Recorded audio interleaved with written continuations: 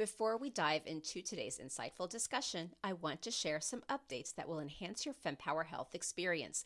We're excited to launch our new interactive newsletter. This weekly newsletter is packed with the latest scientific findings, business insights, and essential updates in the realm of women's health. Signing up is easy. Just visit our website or click the link in the show notes. Our website is also a comprehensive resource organized by topic for your convenience. Whether you're delving into the latest research, exploring any trends in healthcare, or seeking information in specific health topics, it's all there at your fingertips. Additionally, for our Spotify users, we've created playlists categorized by these topics, offering you another way to stay informed and engaged. And for those listening on Apple Podcasts, while we can't categorize content within the app, our website remains a central hub for all of these resources. And be sure to take advantage of these tools to stay on top of the evolving world of women's health, science, and business. Now let's get started with today's episode. This is FemPower Health each week, top women's health experts dispel fact from fiction. The most important pelvic floor exercise is not the Kegel. Challenge the status quo. It's never easy to yeah. challenge the accepted leaders, and especially if you're a woman. Provide perspective on why your healthcare journey may be so tough. All of that fear and worry, it all upregulates our nervous system, puts us into fight or flight mode, and increases our pain sensitivity. And what you can do about it. The number one thing is you have to advocate for yourself and you have to be prepared. Your journey to get empowered starts now. This is FemPower Health. Each week, top women's health experts dispel fact from fiction. The most important pelvic floor exercise is not the Kegel challenge the status quo. It's never easy to yeah. challenge the accepted leaders, and especially if you're a woman. Provide perspective on why your healthcare journey may be so tough. All of that fear and worry, it all upregulates our nervous system, puts us into fight or flight mode, and increases our pain sensitivity. And what you can do about it.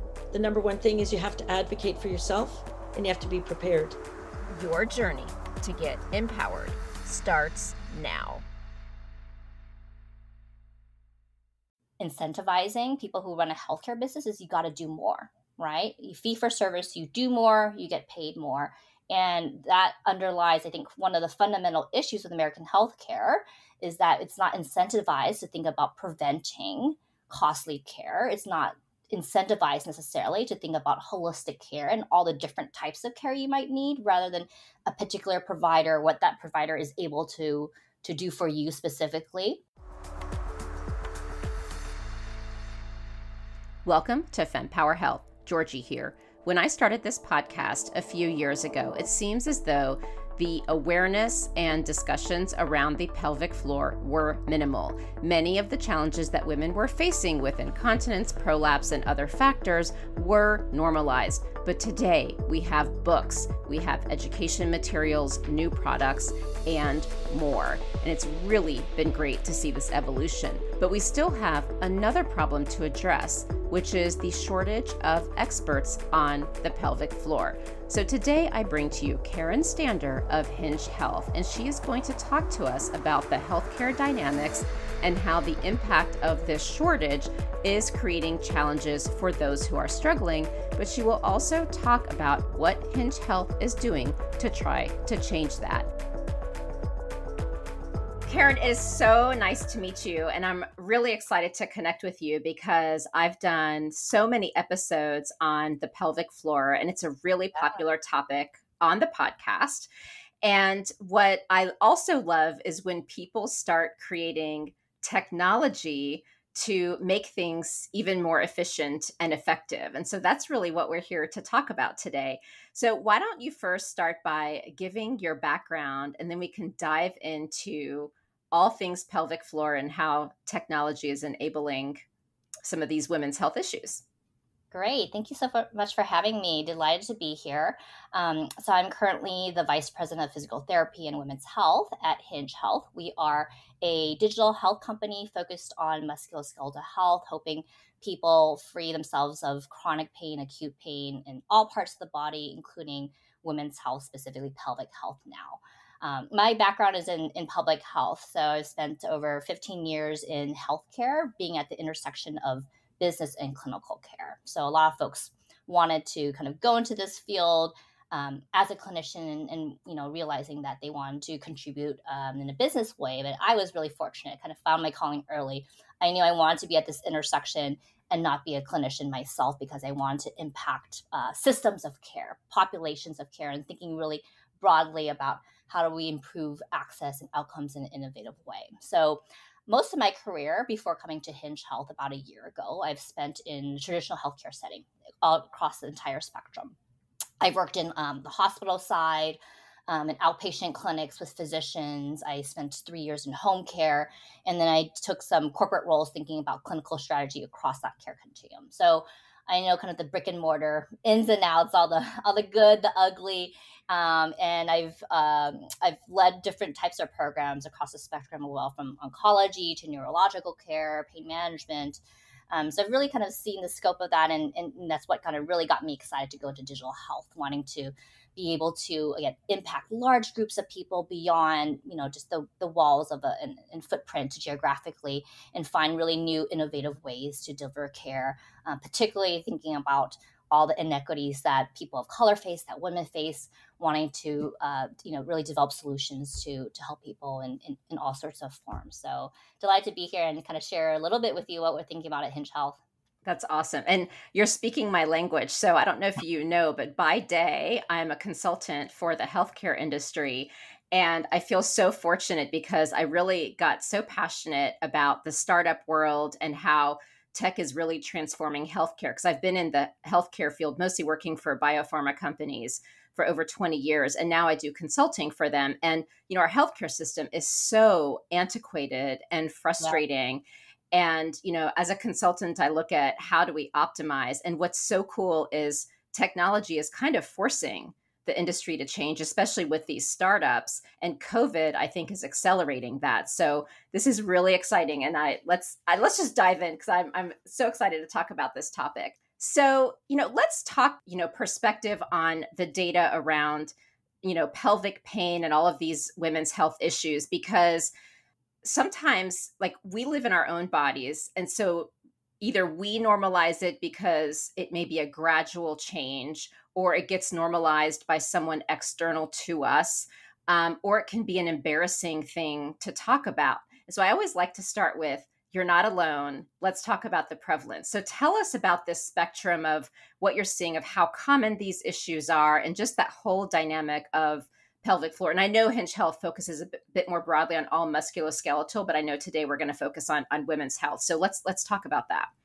Yeah, absolutely. So so one of those things, like you said, totally normalized. And, you know, we talk to our, our mothers, our aunties, our sisters, right? Like that happens to me too. You kind of can forget that common doesn't mean normal, right? You can, it's very prevalent, but you shouldn't have to live with it and just be okay with pain or these symptoms. So, one in four women over their lifetimes will develop some sort of pelvic floor disorder, right? That can range from incontinence, pelvic pain, uh, prolapse, a lot of these subjects that I know you've covered in your podcast. So, very common um, you know, can be t- very typical around certain life stages. So certainly pregnancy, postpartum, very traumatic to your body, right?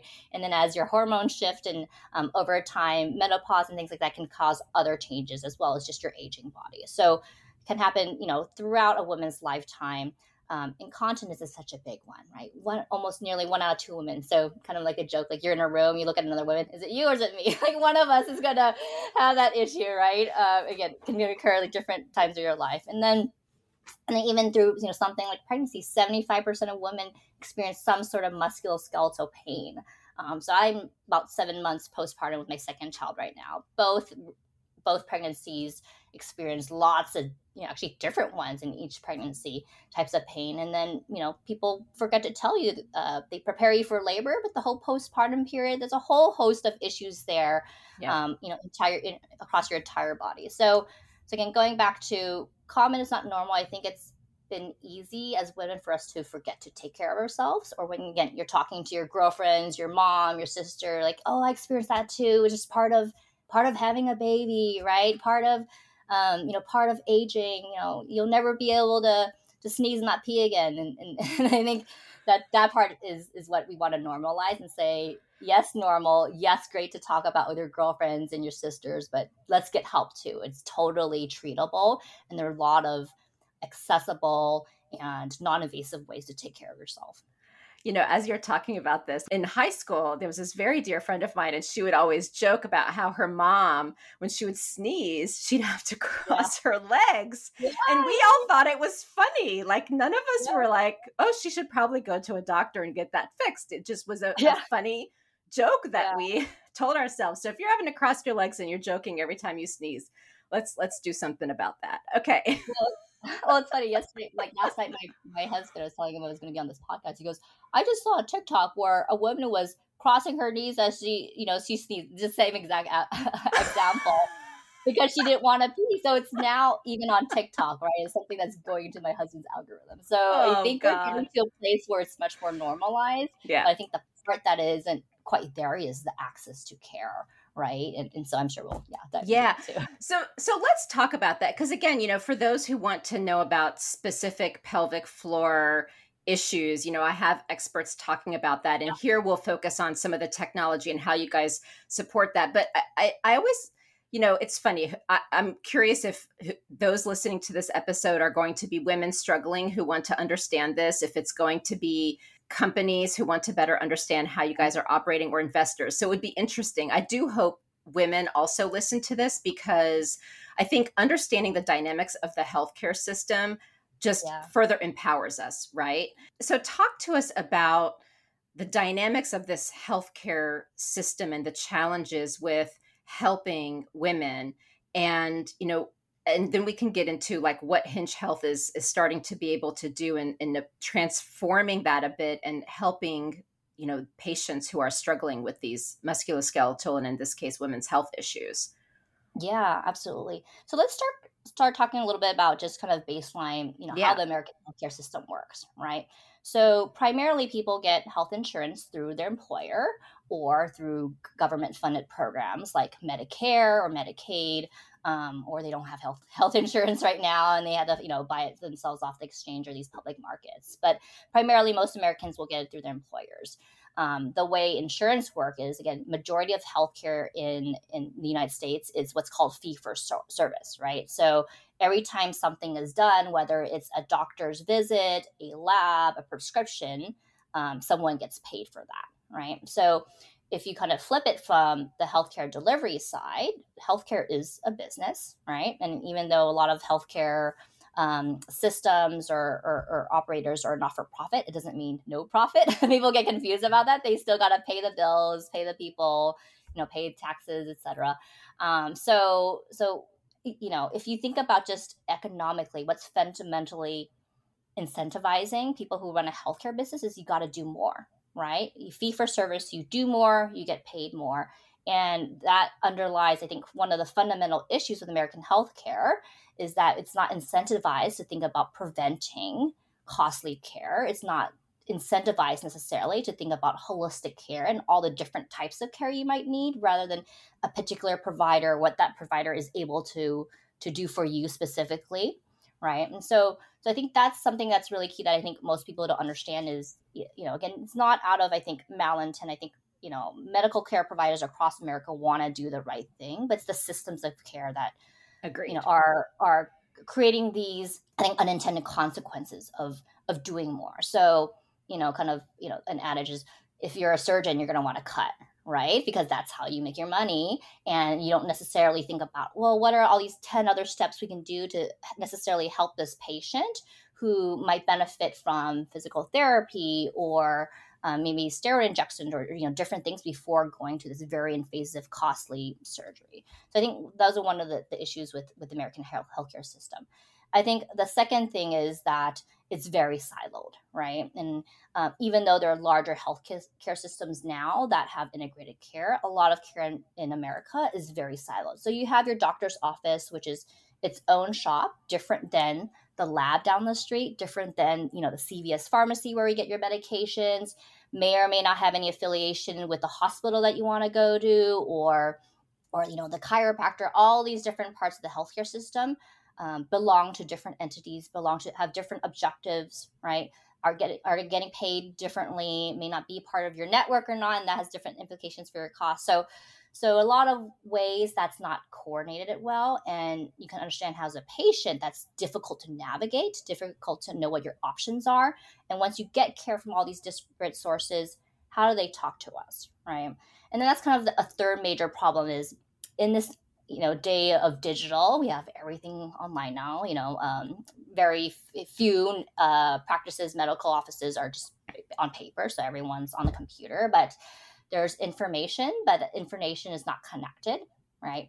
And sometimes when their information is connected it's not meaningful it's not actionable it's just a bunch of numbers and you know 20 pages of hard coded pdf how do you search a pdf right? When you're in an emergency room you need to make, make a decision right away. You want to quickly understand the history of that patient coming in. So we're in a age where there's a lot of information but it might not be actionable or meaningful to the providers who are trying to coordinate and also to use a patient to figure out what do I do with all this and how can I utilize this to serve my healthcare goals.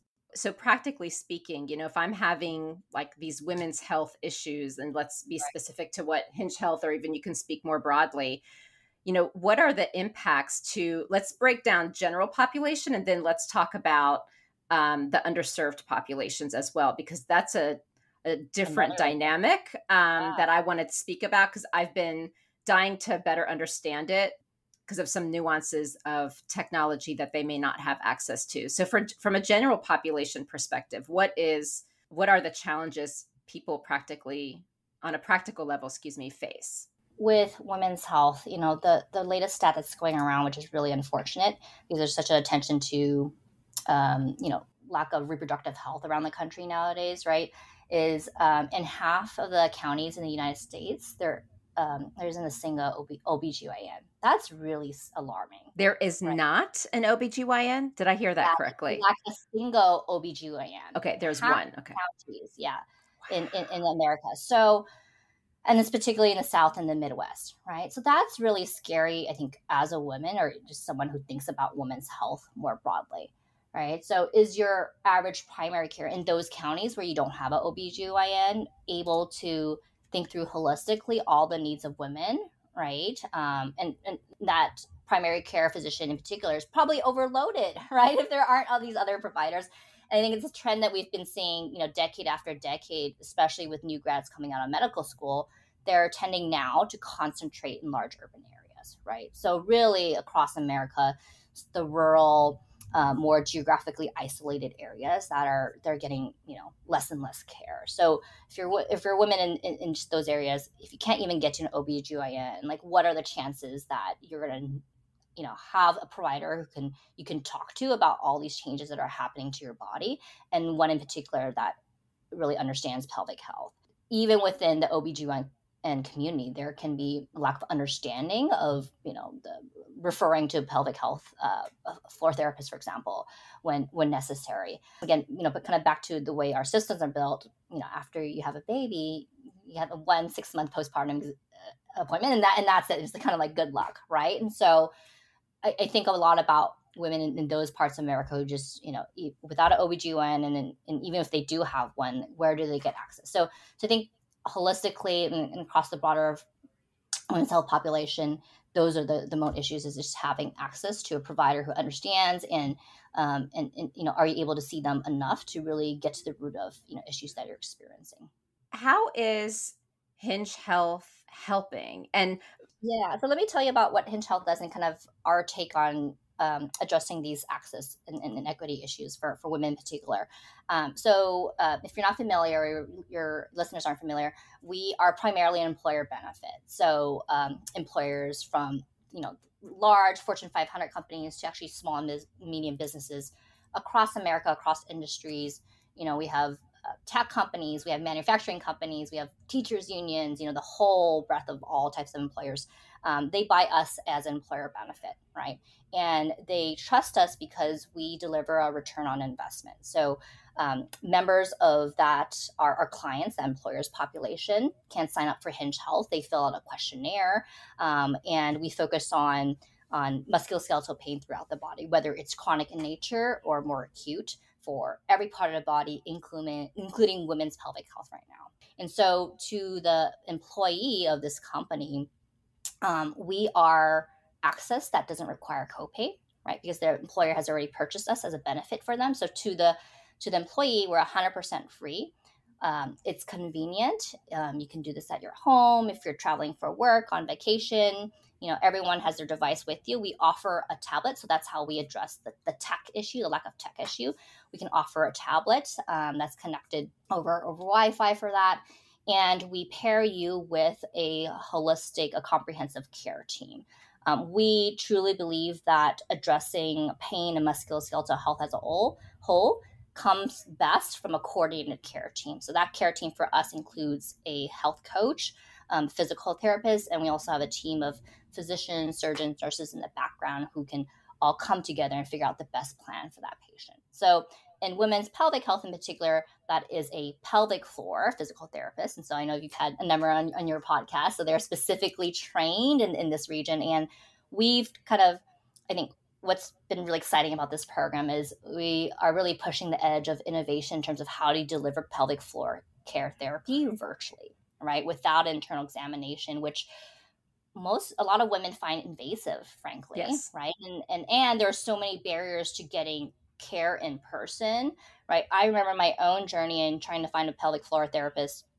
And you know, let's fast forward through all the access issues and kind of figure out outside. But like once I got to one, there was only one of appointment available to me. Otherwise, it was okay. The next available booking is two months from now, and so I, you know, I was couple months postpartum at that point. I'm like, oh my gosh, who's going to take care of my baby while I drive over to this appointment? And and I, am on a pumping schedule. I was exclusively pumping with her, and know, how do I fit it in within three hour window and come back and then pick up my my my toddler from daycare? So there's so many barriers in terms of transportation and you know getting to a pelvic floor therapist. So we try to eliminate that by you know basically having the PT in your pocket. We kind of call it right, like through you know the tablet or the phone. You can do that virtual appointment. It's convenient. It's kind of whenever you can squeeze into your to your schedule um, the the health coach really comes in, and I'm not sure if you're as familiar with the kind of the health coach, or maybe some of your podcast listeners are, but health coaches are experts in behavioral change. Um, and when, why is that important when it comes to chronic care, uh, chronic pain, or just you know type of pain? We know that in healthcare, it's you know a big problem is just kind of getting to care and kind of figuring out what is the diagnosis, treatment, and, and what's the solution. It's a prescription, it's a form of therapy, whatever it is. But that adherence part is also really important. I think underestimated, we don't think about a lot, right? So our take is that we really believe that change comes when you actually integrate that behavior into your life. And for chronic pain, it's not just doing a couple exercises here and there and you're done, you call it a day. It needs repetition, right? That movement needs to be part of your life. You need to integrate it into a habit so you have, you have that long lasting um, impact on your chronic pain and you're continuing to strengthen over time. So that's why a health coach is so important to our model. It's not, you know, anyone can give you a list of exercises to do, right? To diagnose and treat and say, here, do this. But how do you actually do that over time is what's key and, and, and what's driven our clinical results.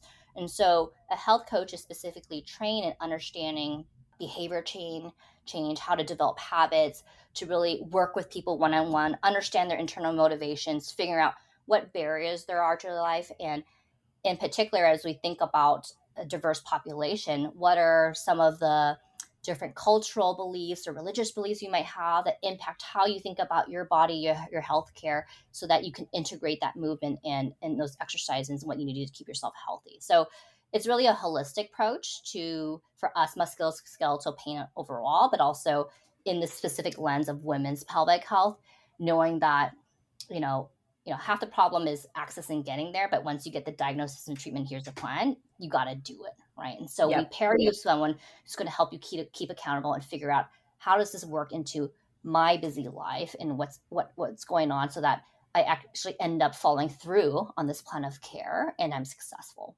how is it that the the physical therapist or the physiotherapist are able to guide you from the pelvic floor perspective? Because in interviewing so many like for example i interviewed um, Allyson Shrikhande twice actually and the last episode we did together we compared these at home pelvic floor devices. And one of the things that she was talking about is how you really need that internal exam to figure out the root cause of the pelvic floor issue. And so how how does someone like get guided over the internet? Our philosophy is that a lot can be done virtually and that's what I go back to we're really trying to push the edge here in terms of innovation in care delivery.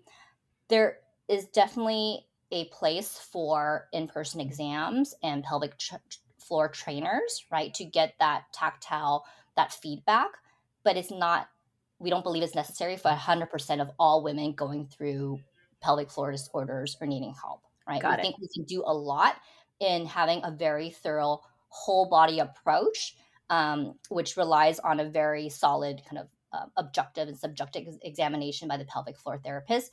And we've worked a lot with our pelvic floor therapists and our um, urogynecologists, you know, medical directors to really be thoughtful about how do we transition our, you know, what's traditionally done in in-person care to digital health setting. So it's not as simple as here's a webcam, you know, Georgie, like do what you did in clinic. It's uh, we've been really thoughtful about every component of that, and thinking about pelvic health. It's not just the pelvic floor muscles, right? It's the abdominal. There's hip. There's lower back, and so there are a lot of things that the pelvic floor therapist can actually diagnose and understand and assess about the patient dur- through the, the virtual health um, setting. So we found that um, you know it, we've been able to com- accomplish quite a bit. Uh, our patients really enjoy the convenience, the access, um, the comfort of doing in their home, and you know, a lot of women just don't want the internal exam. So we want to honor that and still be able to provide as much support as possible through our means.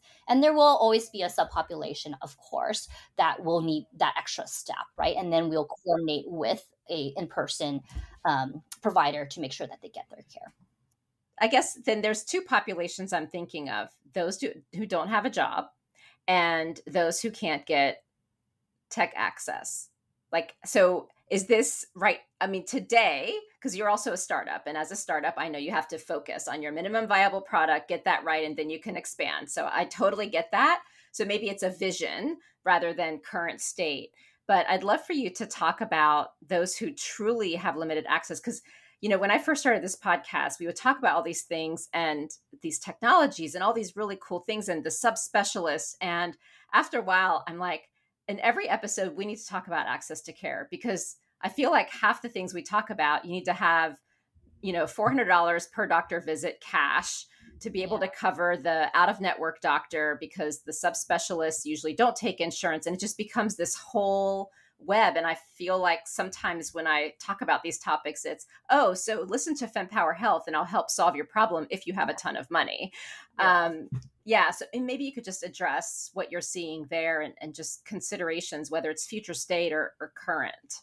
Yeah. Um, so you're right, Georgie. So currently, um, you know, our, our main channel is through kind of employers, right? So if um, your employer doesn't offer hinge health or you you you know don't work or have insurance through that then obviously that's an issue i think longer term we would absolutely love to be a, a broader kind of mass market solution um, and to help people address pain um, fundamentally when you shift things and again i've seen this in my career through managing kind of like you know brick and mortar care to now digital health like there are a lot of efficiencies in transforming to digital health setting right like just basically like you're not paying for the building, the rent, you know, all of that. And so we can dramatically decrease the cost of care um, by offering it through a digital health sec- uh, setting. Uh, secondly, there's um, such a maldistribution of providers, right? So pelvic floor, floor therapists, for example, um, you know, within 10 miles of San Francisco, I live just outside San Francisco, I could find probably easily 15 pelvic floor therapists, right? A couple weeks ago, I was in Nebraska where my husband's family from, and I'd have to go a 100 mile radius of Omaha, which is a big city actually, to get that same um, access to you know a dozen or, or, so pelvic floor therapists, and that's not okay, right? Like those are again two. Omaha's a, a big city too, so through digital health, we can kind of aggregate the supply of these specialists who are across the country and offer them a means of delivering care in a more efficient way. And that helps at the end of the day reduce the cost. Right now, you know, the cost is to, again, our clients are employers, but we hope that over time we can, you know, democratize that and offer that in a, mass market solution. Secondly, I think um, the other piece outside of just getting care from a physical uh, pelvic floor therapist is the education component right? And so i think there's a lot that we want to do as a company in providing education um, to the broader population helping them you know at the very least for for women's health there's so much stigma and kind of just a, a lack of knowledge around that illuminating that so that women can be advocates and and access um, you know what they can for you know within their means FemPower Health is pleased to partner with the upcoming FemTech and Consumer Innovation Summit. The summit is the latest deep dive event, part of the Women's Health Innovation Series, looking to tackle this growing sector of women's health, having had continental success in driving innovation, investment, research, and partnerships in traditional women's healthcare by bringing together critical stakeholders. Join us in New York on June 7th and 8th as we channel this success into the consumer sector of women's health. Visit www.femtechconsumerinnovation.com to view the superstar speaker lineup and enter code FEMPOWER15 for 15% off your ticket. Hope to see you there. Okay. You know, what I'm also wondering is because of all the different aspects of the healthcare system that you worked in, is how you're seeing a transformation and I guess I wouldn't even be able to pinpoint the transformation, but I guess what I'm getting at it like which specific aspects, but I guess what I'm getting at is, you know, you started this conversation where doing more is how the system is set up to be incentivized, but we also know that costs so much more money than prevention. Yeah. Additionally, you know, this is something that's employer sponsored, not through healthcare insurance.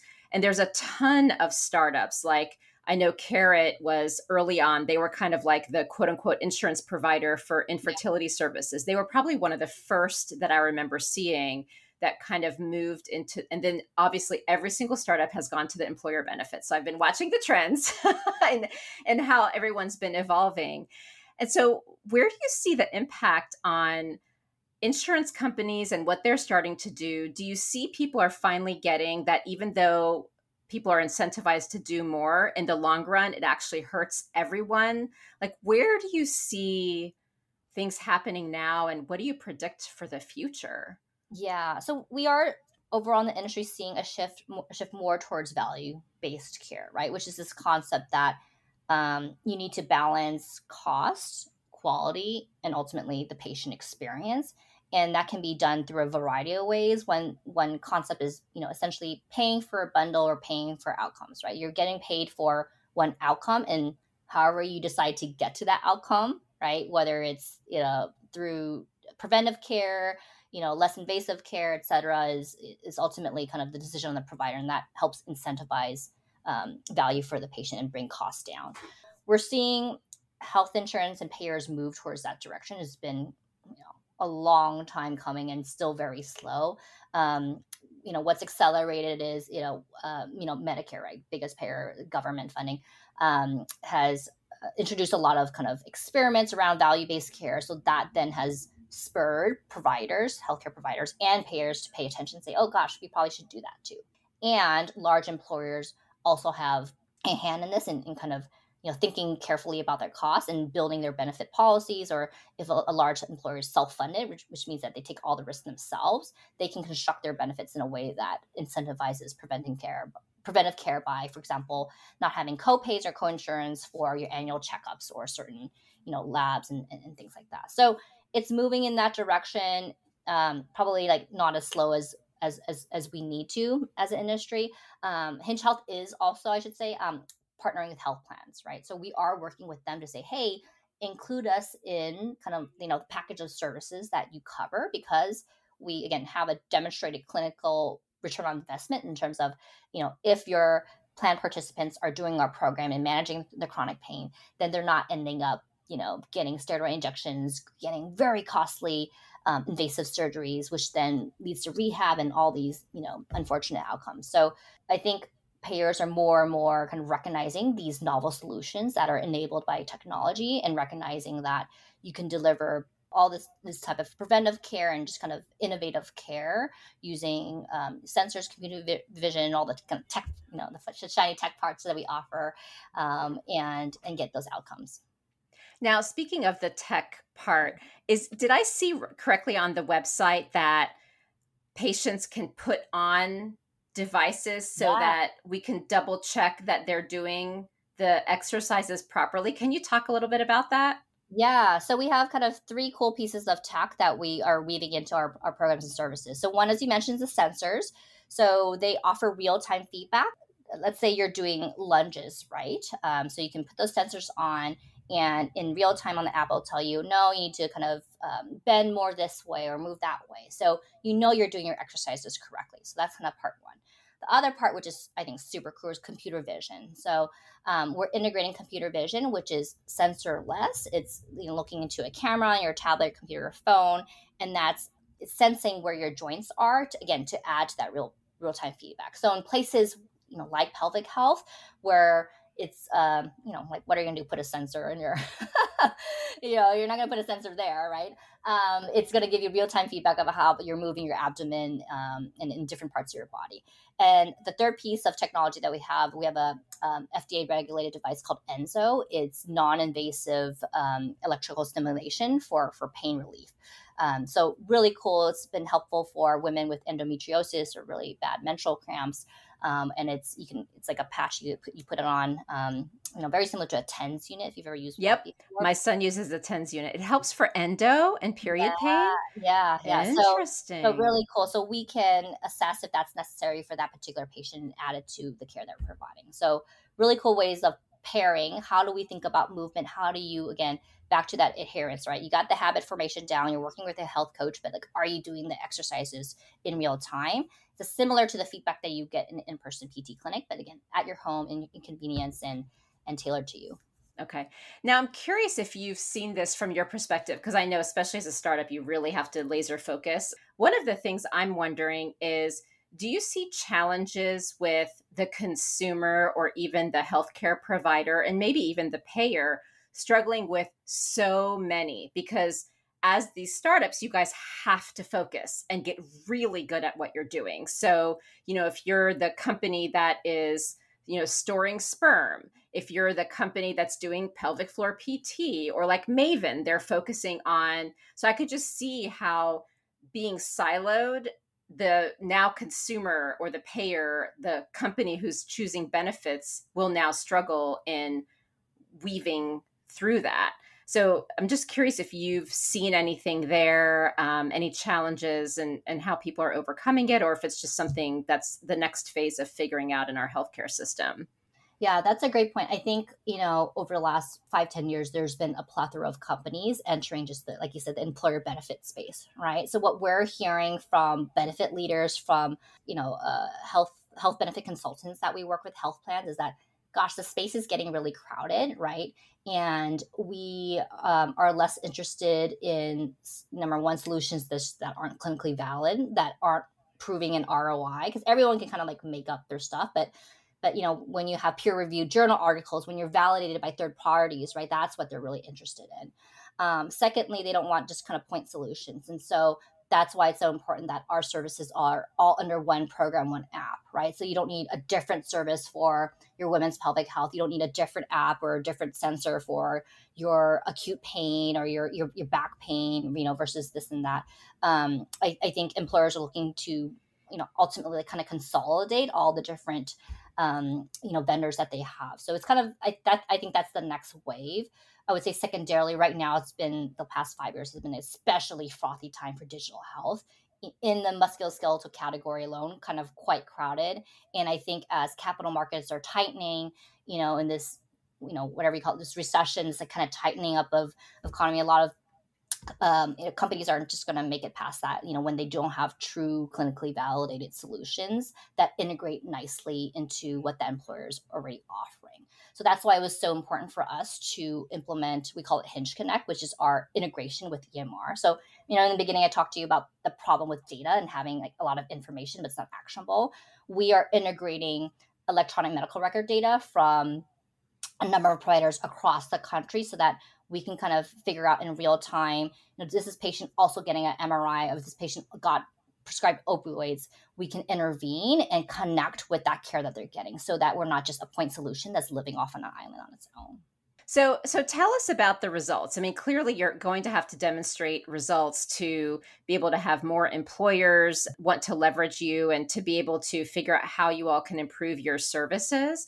So, I'd love to see, you know, the impact that you're having and even the feedback that you're getting from, you know, your audience. And it could be the employers, the the employees.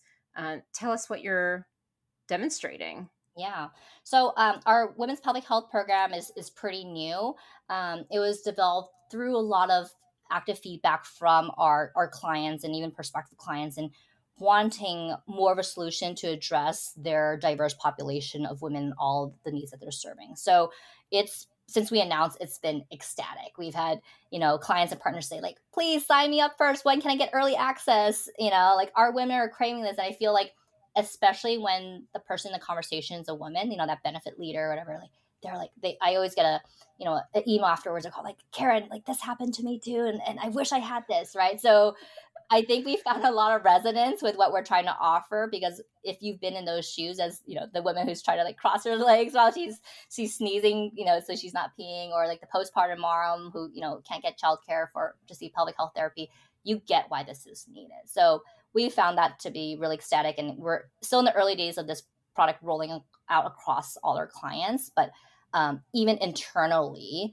the, the, clients that we have are like raise my hand i want to go first right and uh, over time we, we, we will look forward to publishing again clinically validated uh, third party verified results, just like the rest of our program. So, for example, we've seen our Medicare population, which is a population you think that is not as in tune with, you know, using technology. We, you know, still have uh, better outcomes than in person therapy in using our program with a combination of, of health coaching. So, so we think that, you know, we, we do have this the right recipe, right, and how we've thought about our program and all the components of coordinated care to deliver very um, similar outstanding results.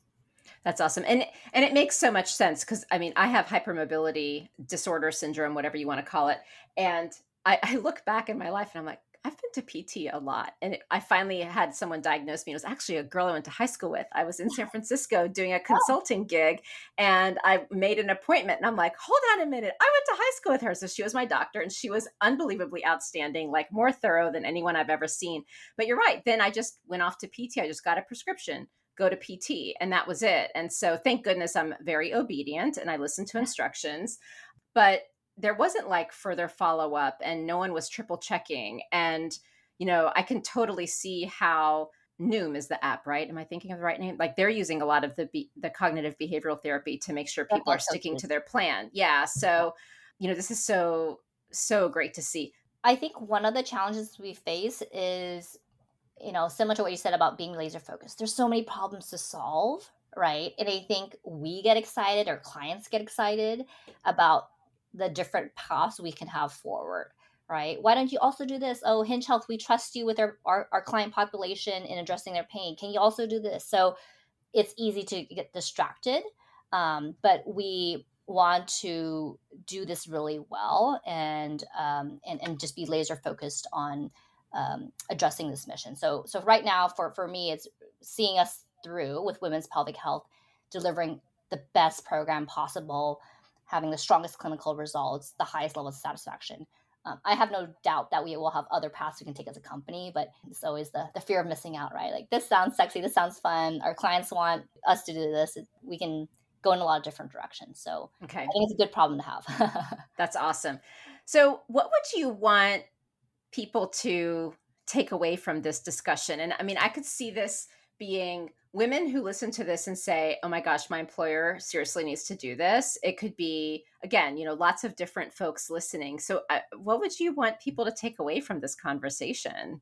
I, I, know you talk a lot about your podcast about each woman feeling empowered to make decisions for herself. And I think that's so crucial.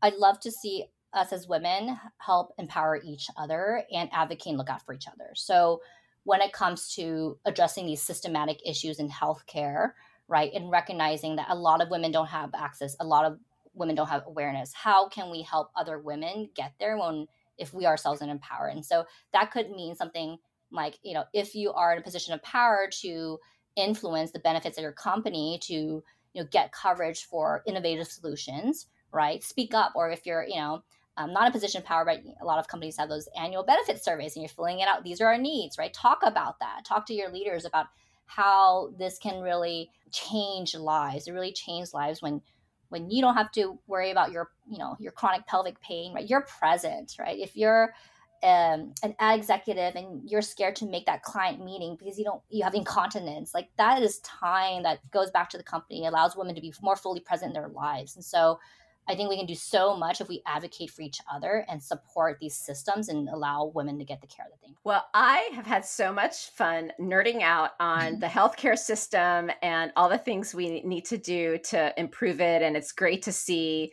the impact digital health is making. And thank you all for focusing also and adding this uh, layer of women's health and the pelvic floor because it is again, like people download these episodes like crazy. So it's clear that it's an issue. And I'm so glad you guys are working to solve it. So this was so fun. Thank you so Thank much. You. It's an honor. Appreciate having me.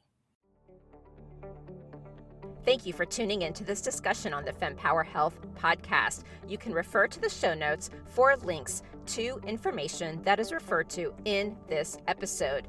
And if you like this episode and found it timely and valuable, please take a moment to tell a friend or a colleague about FemPower Health. And right after this episode is over, please think of one person who might find this episode helpful and tell them about it. And if your friend is new to podcasting, please show them how to subscribe to our show. And another way to support FemPower Health podcast is to leave a review where you listen to podcasts. And as a reminder, the information shared by FemPower Health is not medical advice, but for information purposes to enable you to have more effective conversations with your doctor. Always talk to your doctor before making health related decisions. Additionally, the views expressed by the FemPower Health podcast guests are their own, and their appearance on the program does not imply an endorsement of them or any entity they represent. See you next week.